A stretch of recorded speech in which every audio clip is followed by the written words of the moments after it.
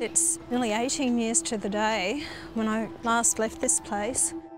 And they kept calling me a serial candidate, wanting to be back in here. Pauline Hanson has spent nearly two decades and nine failed state and federal elections trying to claw her way back. And now that she's here, it's a little overwhelming. You're a bit emotional.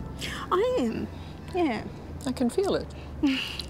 is, it is it because um, you've been given that second chance? Oh, yeah. Yeah. And uh, feeling honoured or feeling... Yeah. It's, or is it just, it was, it's the thing you wanted so much? You know, it's, it's, it's changed my whole life. Australia lives in that building, doesn't it? It's the... Senator Hanson will be spending a lot of time here in Canberra over the next six years. Come on in, Liz. This is it. Oh, this is pretty impressive, Yeah. actually. Look at that.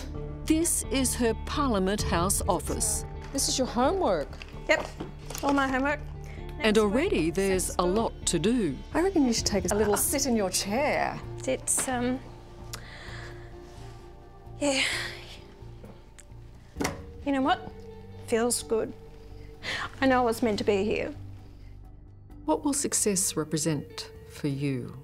I think for the pure fact that I was voted in, you know, to me that is that is success. What would you consider failure then after six years? If they didn't want to vote me in at the next election, Pardon?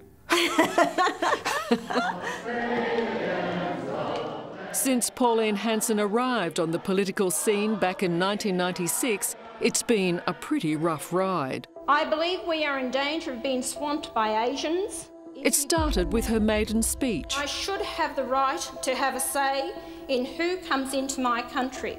and never stopped. I do not want Australia to become Asianised. Do you want race riots, religious fanaticism, gang and drug wars? Although some of her suggestions proved to be not too far off the mark. I've been asked, what's your view about the boat people? I said, you go out, you meet them, you fill them up with fuel, you fill them up with food, you give them medical supplies, and you say, go that way. Biggest laugh in Ipswich. No, Everyone hates you. Pauline Hanson was polarising. And Australia had never seen anything like it. We will lose our country forever and be strangers in our own land. I don't go out there just to, you know, set the world on fire. That's not the case. But I think there are. Sometimes you've lit quite a bushfire. I, I get what you're saying, but I don't intentionally do that, Liz. It's just the way that it comes.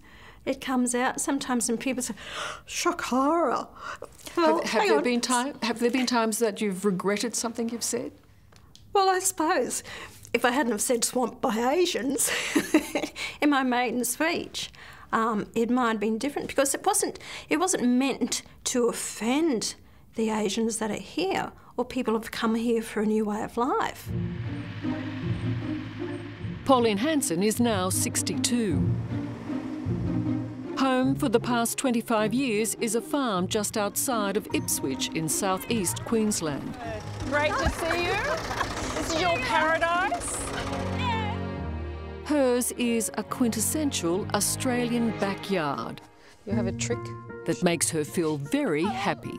That's what I do. It's like, and I find that that sort of tells you if, if there. See, oh, lemons going everywhere. You know what? You've always been shaking the tree. I, I'll have to teach you how to make lemon butter. I was hoping for a gin and tonic. But Yeah. It's a beautiful spot. I love the country. I'm not a city girl. When I'm out in the public, it's very full on for me because I'm so recognisable. And um, Never thought peop- of changing the colour of your hair. they talk about me, Liz, if I ever did that. She was born Pauline Seccombe, one of seven children in a household where her late mum Nora had some old school views. I was always taught the yellow race will rule the world. And if we don't do something now, until we catch up a little bit, I'm afraid, yes, the yellow race will rule the world. And Pauline barely had time to dream. What did you think you would do in life? I had no idea. My childhood went that quick, and I was married at 16, had my first child at 17. So I always thought uh, I would have liked to have been a police officer, and uh, but that wasn't the case because I, I, I read about modelling. I was. I, I always thought about that as well. What are you going to have? Can I have two pieces of mullet, please? Instead, Pauline worked her own fish and chip shop. And you've got a steak sandwich and old perch and chips to go on. A twice divorced single mother of four children who would go on to cut her political teeth as a local councillor. Is that where you got your confidence to, to stand up in public life? Confidence. It's been very hard for me, Liz, and you, you might find this after me to say, I was quite one of the family. yep, I find that hard. we, we laugh about this, you know. So you, so you didn't have confidence? No, to actually get into politics and to do that, I really had to push myself to be the voice. It doesn't. It, it's never come to me easily. Mr. Acting Speaker. When I stood on that floor of Parliament to deliver my maiden speech, my knees were shaking. I was so nervous. And you look back the footage and you can see it. And I suppose I've always thought, this is who I am, this is what you get. And people say, oh, well, can you say it differently? But do you, but do you understand what people are wanting you to do? I'm, I'm trying to get them. Even my kids say to me, Mum, we understand what you're saying, but can you say it a little bit differently? Stop wasting water, you're on tank water now. Pauline's children are strong supporters of their mother. Careful, I'm on tank water. I don't want to waste it. Although daughter Lee says her mother's political ambitions have provided them with plenty of comical material. When your mum said, I'm going to stand for election, did you think, oh no? Or. Which election are we talking about? You're right, your mum's never actually stopped, has she? No, no. We have a joke in our family where every time mum said to us, you know, I'm going to run again, we call her Johnny Farnham. Because um, every time she says, nope, this is the last time, no more. What has it been like? Because I don't think a lot of people understand that children are affected when their parents go into politics. Um, look, it's been challenging over the years. I mean, at one stage, I had a death threat against myself, so that was bizarre. I was 13, I think, at the time, mm. so I had no gravity of the situation whatsoever. But of all the challenges the family has faced, by far the greatest was when Pauline was sentenced to three years jail for electoral fraud. After the guilty verdict was handed down, Hanson remained defiant, declaring her innocence and later saying, rubbish, this is a joke. It is a shock, but she's doing well. She's a strong woman. Pauline's imprisonment was met with outrage. It's a disgrace that we have a political prisoner in Australia. And three months later, her conviction was overturned. I saw mum came, came out of prison as someone who was emotionally ripped apart.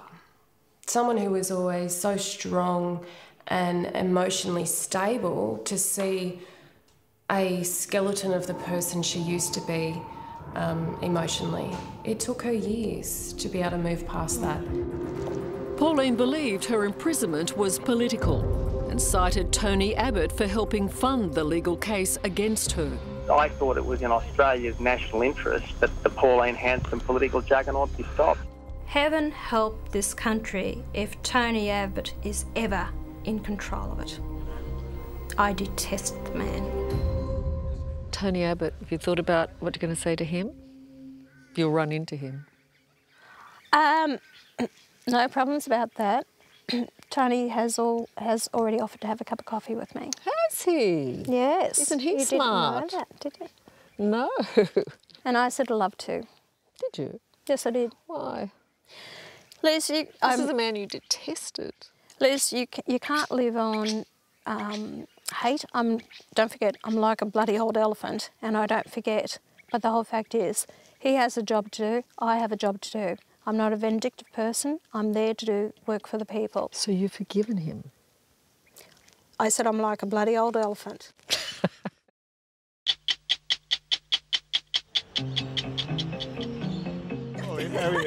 Hello, Jack. Everyone wants a piece of Pauline. People have had a gutful. Thank you. Her One Nation party holds four seats in the Senate, making her more powerful than ever. And even the Prime Minister, who said this before the election Pauline Hanson is, as far as we are concerned, uh, not a welcome presence on the Australian political scene. seems to have changed his tune.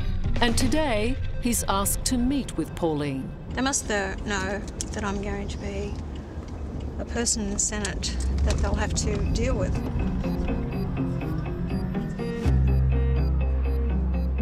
And an hour later, Well, how did that go? Very good. Very, very um, pleased with it. Um, he was very gracious and spoke to me about.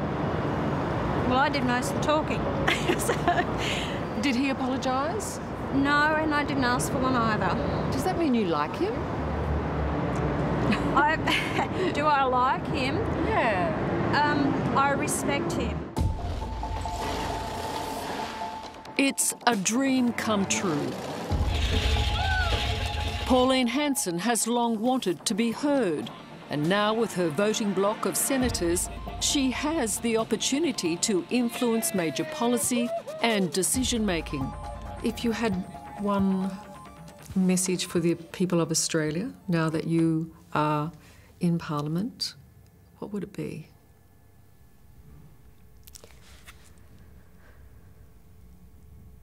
Oh.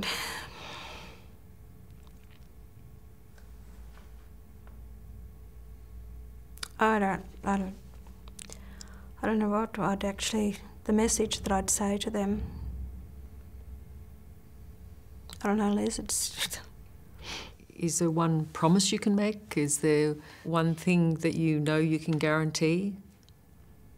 what I would say to the Australian people is that I will always try to be upfront, honest, and accountable to them. Well, guys, Parliament House, Senate side, congratulations. Her senators are mostly political novices. Um, we are united as a team. I don't want the perception out there that it's going to fall apart, apart like Clive Palmer did. Malcolm Roberts is a climate change denier. Brian Burston was once sacked from One Nation. And Rod Culleton, whose future as a senator is already under a cloud. You've got a, a, a team of quite strident personalities. Y- You're confident you've got the discipline and the unity? That everybody's on board? Most definitely. And I am a people's representative. And my senators are also a people's representative. First and foremost, loyalty is basically to the people, not Pauline Hanson. I'm not tying them up. I'm not saying, hey, I'm, I'm the boss here, I'm the leader, guys here. You've got to do what I'm saying. I'm not. You do have to have a leader, and you are the boss. I tell you what, Liz, when the decisions have to be made, I will make them. There's no doubt about that whatsoever. This means too much to me, and I've hung on for the last 18 years since I last walked out of that place. So at the end of the day, if a decision has to be made, I'll make it. Her voters have high expectations. They're people who are disenchanted with the major parties and who believe she is their voice. Pauline's gaining more traction because she gets out there and says what the majority of the people are thinking. I'm Pauline. My mum's a big fan of you. And Pauline is attentive to her supporters. She's going to stand up to people like Turnbull. Turnbull hasn't got any balls, if you'll smart, put that in. including the workers at her local Meals on Wheels. I'm going to talk to the Prime Minister about this one. She's clearly loved by many. Well, you've got Pauline now. Yes, we've got Pauline now. We're lucky we met her. But she's also occasionally loathed. You're just a racist redneck with your red hair. Go, go away. Go back to Ipswich and your fish and chip shop. Disgraceful. You're a woman lacking uh, moral fibre. You are intellectually dishonest and you're not welcome here. Some of your enemies have been very vocal. How do you feel when you're called a virus, an opportunist, a half-wit, part of the ugly underbelly of Australia? Oh dear. It's like water off a duck's back. Doesn't, Over to it. doesn't penetrate? No. Doesn't hurt? No. No. Doesn't mean anything? No. Why should it? Because you know what? In here, it's because I know I'm not going out there to personally hurt anyone. Never have done. Never, ever have I done that. She is critical of herself a lot of the time, but I've always said to her, that's your brand. And if people haven't learnt to accept that now after 20 years, they never will. James Ashby is Pauline's new minder. He previously worked for federal MP Peter Slipper, creating headlines when he accused the former Speaker of the House of sexual harassment. James, what are you doing in the world of politics again? I don't know. I Met this little redhead and she was running for the state campaign 18 months ago. And uh, I just saw she didn't have the support. And I thought, well, bugger it, I'll support her. And, you know, for, for somebody who's supposedly anti gay, we work very well together. And you, as you walked into Parliament today, how did you feel? It was an odd feeling, actually. I wasn't comfortable at all. But Ashby has agreed to be Pauline's chief of staff. A lot of these politicians can't even get to these remote areas. So this is the only way to get out and visit people. After helping her campaign as her pilot This is like your own TV show. Are you ready? and with social media. We are live in two seconds. Hello, everyone. The best thing we have in our corner this time is social media. Well, I'm in Ingham today. Sorry, a little more enthusiasm. Mm, well, I'm in Ingham today. She's now the second most followed politician in this country, behind the Prime Minister. That is a big platform. That is something that the opposition leader would kill for. It's been brought to my attention that the Australian Taxation Office are going to put in squat toilets because over 20% of their staff is from a non-English speaking background. Squat toilets? Right, you got to squat to use them. Are you xenophobic? Please explain. When 60 Minutes asks if you were xenophobic, yes. that changed my life. that changed your life. yes. Do you think you might have been? No. Not at all? No. Which is, xenophobia is different to racism. Of course it is. It's, it's a fear of anything foreign. I'm not fear of um, foreigners. That's that's stupid to say. You know, fear of um, Or foreigners. Not so- cultures or beliefs. God, no. Not a fear of that. Well, this is about Muslims borrowing interest-free loans in Australia. But Pauline does have fears. Muslims. And currently, they're about Muslims. There are those lurking close at hand who wish to destroy all that is Australian and our freedom. When you say ban Muslim immigration, can you appreciate it sends out a, a message of hate? It does start to divide the nation. I'm trying to be protective, Liz, that let's deal with what we have here at the moment. I don't want to see another Australian lose their life or a loved one lose their life because of this. But do you think it's going to fix the problem? Liz, I haven't got a crystal ball. But that's that's the reason I'm saying. Do you think that is that really Then going let's stop talk. our, our what I'd like to see is these these Muslims that are not the radicals, the, the ones that want to live their life in peace and harmony and quite happy to be here in Australia and, and love and embrace this nation, then work with me to find the answers. You've been reading the Quran? I have read sections of the Quran, You- yes. You carry it in your handbag, I'm told. Yes. And why do you do that? Because I want to use it as a reference and to read it so I have better understanding what I'm talking about instead of just, you know, going out and saying things unless you have a, an understanding. Being informed is everything. Yeah. And if in the process of being informed you found yourself realising that maybe you had the wrong stance, will you say so? Of course. You know, I've uh, if people can, you know, prove to me that I haven't been right in my, my views, my opinions, um, by all means, I'm, I'm quite open minded with a lot of things. So you could be swayed about the statements you have made so far. Of course, Liz, you know, um, to think that we're right 100% of the time, that's being naive and, and being um, stupid about things. Right, so let's clear the air. Do you hate Muslims? No, I don't hate. I don't hate Asians. I don't hate Muslims. I don't, you know. Hate's Indigenous people, are they still getting an unfair run? They're getting one up on us? I'll tell you something. You know who they're coming to see? Me. Spend time with Pauline Hanson and you get to see the light and shade. As she writes her much anticipated first speech to the Senate, there's a softness we haven't really seen before. There's a lot I want to say, but what I've got to try and do is people need hope. And if you've got hope, then you can actually say, give them that, that confidence to say at least someone's there thinking about us. That's what you'll tell them. Yeah.